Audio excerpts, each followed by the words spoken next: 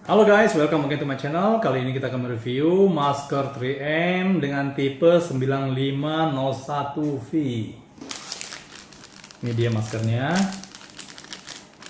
Oke, dia dilengkapi dengan filter di sini. Kita akan coba apakah masker ini sangat bagus untuk mem- memproteksi muka kita sampai seberapa besar dia memproteksi dan berapa berat kita dapat bernapas dalam masker ini. Jadi dalam pemilihan masker itu pertama-tama kita harus pilih melindungi kita dan membuat kita nggak pengap.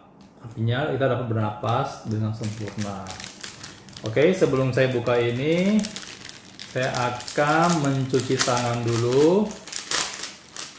Mencuci tangan atau menggunakan antiseptik. Oke, kita menggunakan antiseptik dulu biar maskernya itu bersih dan tidak tertular kuman yang dibawa dari tangan kita. Oke, kita akan buka masker ini.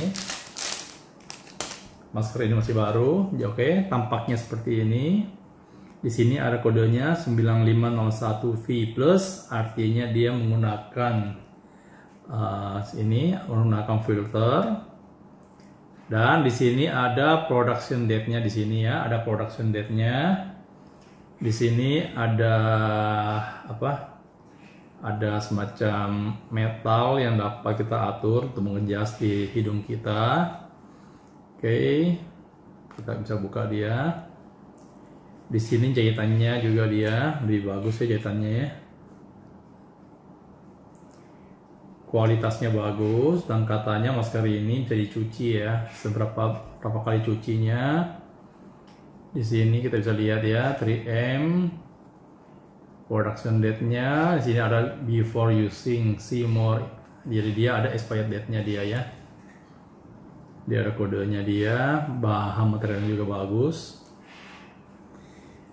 Untuk harga satuannya itu sekitar 80 ribuan lumayan mahal ya lumayan mahal untuk masker ini. Dulu nggak sekitar gitu kali ya. Karena banyaknya permintaan. Di sini kita bisa lihat di sini ada filternya. Jadi kita bernapasnya melalui sini nih melalui sini ya filternya ya. Jadi ininya kita tutup rapat ya kita akan coba menggunakan masker ini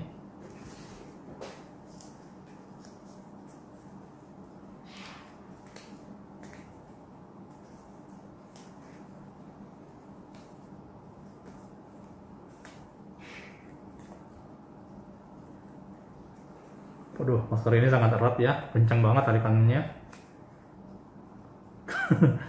Sampai kupingnya mesti tarik gini, kencang banget. Jadi ini kita mau ngejas dulu ininya. Kita adjust dulu saluran ininya metalnya biar sejajar dengan hidung kita. Tarik ke samping dan dagunya ya. Masker ini bagus banget ya. Jadi kita walaupun ini sangat erat di sini sampingnya, sangat kencang, kalau ini ditutup kita nggak bisa napas nih. Dari sini hawanya keluar di sini nih. Di sini ada one way. Udara bisa masuk tapi nggak bisa keluar ya. Kita bisa hirup dari sini ya, hirup dari sini. Di sini ada filternya. Jadi udara yang masuk dari sini ini uh, dalamnya ini ada agak bau-bau ya, mungkin bau-bau dari filternya. Jadi dia udara masuk ke sini, kesaring melalui filternya ini. Oke. Okay.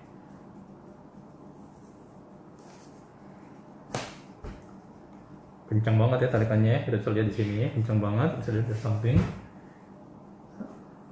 Jadi ini anti polusi dan dia bisa menyaring sampai 95% dan masker ini PM-nya itu dua setengah ya. Dua setengah. Dan terdapat busa. Ada busanya dia. Di bagian depannya ini dia anti air. Jadi air nggak bisa masuk ke dalam sini. Air nggak bisa masuk. Dan di dalamnya ini uh, dia bisa menyerap liur kita dalam sini ya. Oke, okay? walaupun saya ngomong ini suaranya lebih jelas karena dia nggak menahan menahan suara ini. Kita akan tes. Nggak ada efek sama sekali. Jadi ini uh, one way, artinya dari sini masuknya dia, sebenarnya di protect semuanya di sini. Oke. Okay. Ini dia masker dari 3M 9501V V plus. Artinya dia ada tambahan filternya. Kalau yang 9501 itu dia tanpa ini tanpa tanpa tanpa filternya ya. V plus itu artinya filternya. Cara bukanya sama. Cara bukanya dari sini tarik. Ini bisa kita buang atau dicuci cuma saya nggak tahu ini belum tahu cara cucinya gimana Oke. Kalau mau lebih awet, dalamnya kasih tisu, jadi biar air liurnya itu nggak ke mana-mana. Ya, air liurnya nggak ke mana-mana, bisa besarin dulu oleh tisu itu, jadi ininya lebih awet. Oke guys, demikianlah review dari kami Ronatek mengenai filter 3M non medis ini. Semoga informasi ini bermanfaat dan berguna buat Anda semuanya. Jika Anda menyukai video ini, please like dan komen jika Anda ingin bertanya seputar filter 3M non medis dengan uh, nomor seri apa dengan part numbernya 9501V+. Oke okay guys, sampai ketemu lagi di channel kami selanjutnya. See you on the top guys. Bye.